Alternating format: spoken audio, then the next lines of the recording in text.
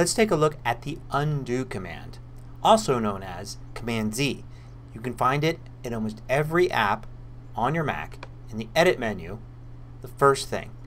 In the shortcut it's always Command Z. Now it's so powerful. A lot of us know its power but sort of take it for granted. And others don't quite know how powerful it is. Like let's look at a very simple example. Say you're typing something in any app and you make an edit. You delete something. You can go and do undo and it replaces it. But a lot of people don't know that you can do multiple undos. So let's do a whole bunch of different edits here. I've removed three lines and I can undo, undo, undo to put everything back. And notice also there was a redo command which usually is Shift Command Z. So if you've undid like three steps and you want to go back one you can use Shift Command Z and go forward again. So this is a really simple example when you're typing. But you can use undo in all sorts of other cases. So let's take a look at the Finder. You can say select the file and delete it. You can drag it to the trash or I'm just going to use Command Delete. Now you could go into the trash and find it and put it back. But you can also use undo to undo that. It'll undo the move that file to the trash. And there it goes and puts it back inside the folder. Now I can also undo a regular move. So I move this into this folder here. Command Z returns it. And you can do undo multiple ones. So I'll put this in home. I'll put this in project A.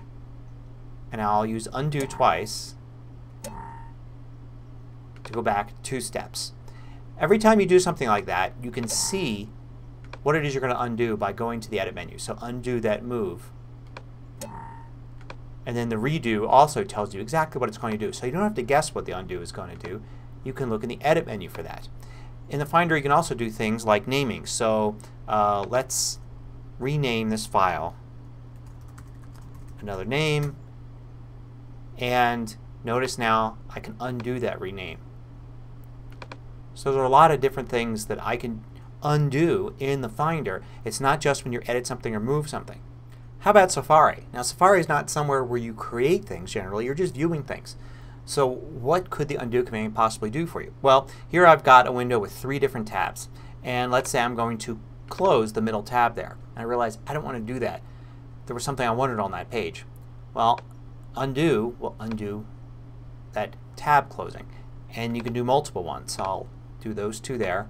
Undo close tab, undo close tab. How about mail? Well say you take a message here and you decide to archive it. You can undo that. Or if you were to delete it you can also undo that. Now what you can't undo is sending an email because as soon as you send it of course it goes from your Mac to a server and there's no way to pull it back. Just about every app makes use of undo. Sometimes you can undo multiple things and sometimes you can only undo one step. So for instance we'll edit a photo here in Photos and if I go to the adjustments here I can adjust let's say brilliance, exposure, highlights, shadows, brightness, contrast and I can undo each one individually. Command Z, Command Z, back one step each. But if I were to say leave an exposure difference there, go to filters and apply a different filter and then also enhance now you can see I can undo the auto enhance. I can undo the filter but I can't go beyond that. There are some things that once you exit out of here you can't undo.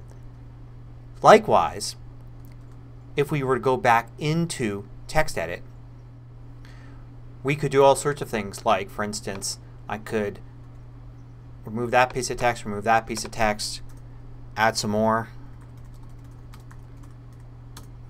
and you can see I could undo each of those changes. I could even save and still undo each of those changes. But if I close the document and then open it again the undos are gone. So leaving the document, closing it, and opening up again you lose that undo history. At least with TextEdit and with most apps.